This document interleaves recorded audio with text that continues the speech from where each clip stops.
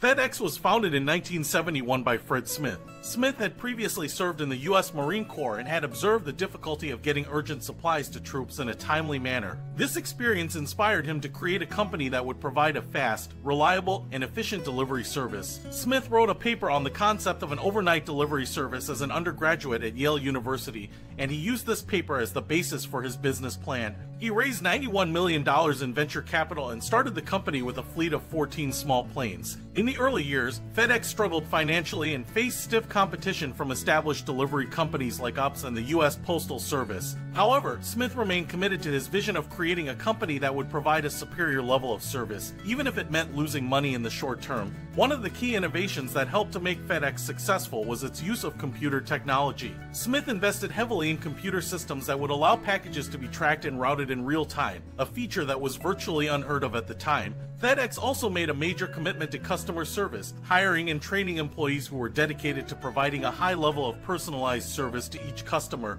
Over time, FedEx grew into one of the largest and most successful delivery companies in the world, with a reputation for innovation and reliability. Today, the company employs more than 500,000 people and delivers millions of packages each day to destinations all over the globe,